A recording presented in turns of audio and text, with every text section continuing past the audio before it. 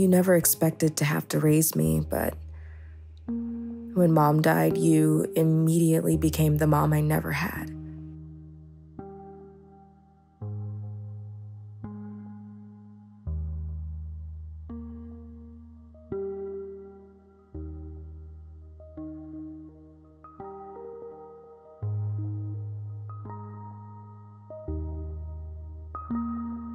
April, you are everything that MeMaw ever imagined.